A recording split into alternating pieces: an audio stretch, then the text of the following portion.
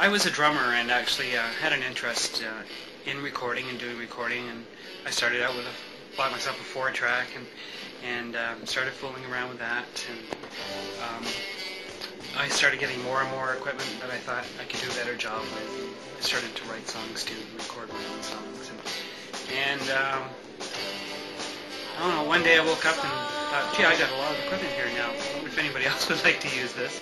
So I put a little ad in the paper and started getting phone calls, and, and uh, from there it, just grew and grew and grew. Here I am. Can you tell me a little bit about the format of your studio, what kind of service you'd be offering? Well, this is a 16 track or a 24 track studio. Um, and um, basically what I do is I record bands. It's really my, my thing, or, or individuals that like to sing.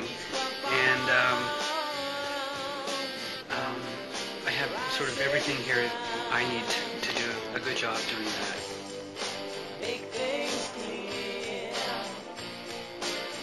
Well, this is the mixing board. It's um, fairly new and and it's big enough to handle the 24 track and the 16 track. And um, there's compressors up here and reverbs and more all kinds of gear over there that for effects and everything. Got a lot of uh, analog gear here. Is that, is that a preference? The world is going digital, but uh, there is still a need for analog. You. Yeah, I um, I really love analog. And, um, I guess maybe because I grew up with it myself, but I've compared, you know, the two mediums. I've rented digital machines, and, and still nothing really quite sounds the same to me as, as my analog machines. And, you know, I've noticed they even build machines now that you can run your digital through it to try and get that analog sound. And, and I really can't really see the benefit of doing that. I'd rather just stay analog. Well, I'm definitely an engineer, um, and I consider myself, I'd have to say, for the most part, a co-producer. You know, I'm usually working with the bands who have a pretty good idea of what they want, and it's my job to, to get it for them.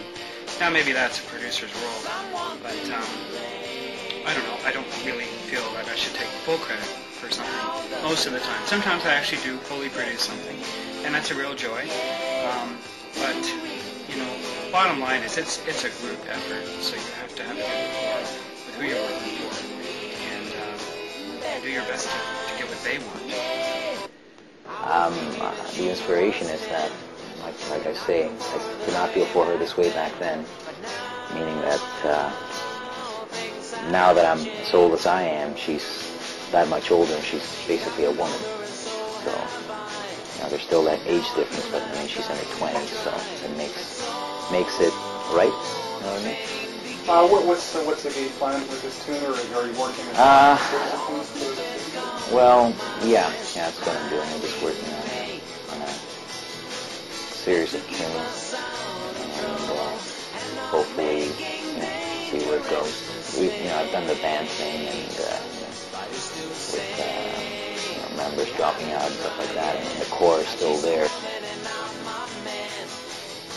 Recommend anybody who, who wants to get into recording to just do it themselves for uh, for the first little while. Just gives you um, just gives you you, know, you cut your teeth on, on, on the feel what it's like to hear yourself on tape and uh, you know how the process works, know the whole multi-tracking stuff. Bands who are used to just playing off the floor from the thing, you know, not actually recording, you know, may find it a little intimidating the way that the process works.